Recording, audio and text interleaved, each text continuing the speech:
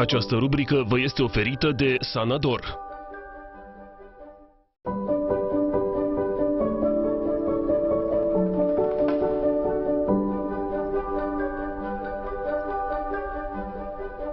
Vorbim acum despre cea mai mobilă articulație a corpului, umărul, și poate cea mai predispusă la tot felul de luxații. Traumatismele pot duce la dureri insuportabile, senzație de slăbiciune a umărului sau situația în care umărul cedează. Ne spune cu ce avem de a face domnul dr. Liviu Ojoga, medic primar ortopedie și traumatologie. Bună dimineața! Bună dimineața! Cine sunt cei mai expuși la astfel de luxații?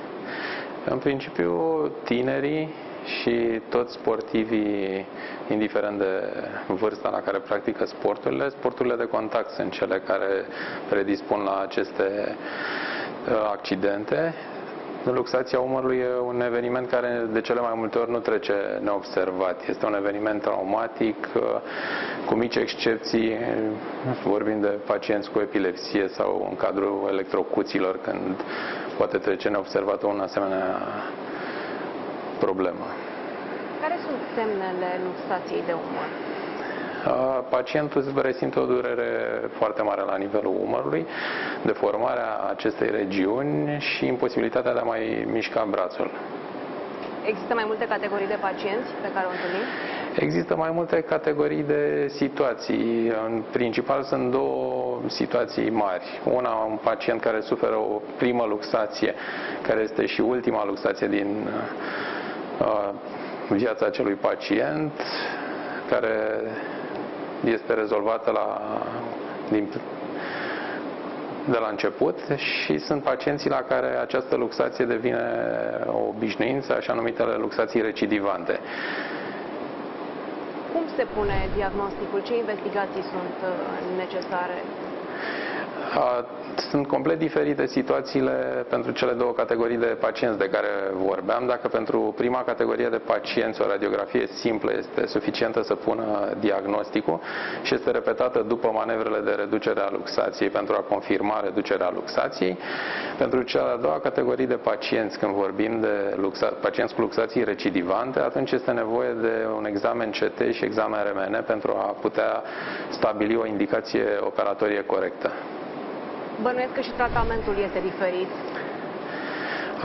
Da, exact ce vă spuneam, la pacienții din prima categorie care au o primă luxație, tratamentul este reducerea sub anestezie a luxației și imobilizarea în funcție de vârsta și profilul fiecărui pacient în jur de 3-4 săptămâni. Cu cât pacientul este mai tânăr și activitate, are activitate sportivă, cu atât prima imobilizare ar trebui să fie spre 4 săptămâni. În cea de-a doua categorie de pacienți, cei cu luxații recidivante, atunci uh, tratamentul nu mai este nechirurgical, ci este 100% chirurgical. De asta vă spuneam că este nevoie de un examen CT și un examen RMN pentru a putea stabili, sunt două mari intervenții care se pot face, operație artroscopică Bankart de reinserție a labrumului glenoidian sau în cazul în care există deficit osos fie la nivelul glenei, fie la nivelul capului humeral, fie în ambele regiuni, atunci trebuie o operație deschisă, operație la tarje de augmentare a suprafeței cavității glenoide cu vârful apofizei coracoide. În ce constă recuperarea după astfel de intervenție?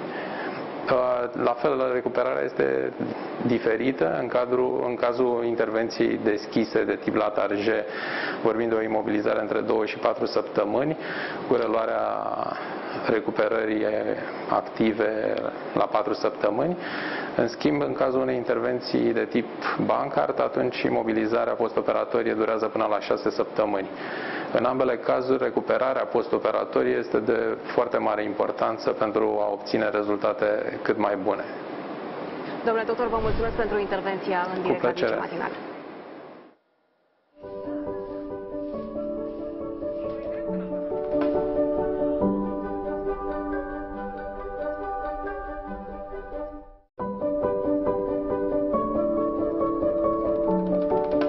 Această rubrică v-a fost oferită de Sanador.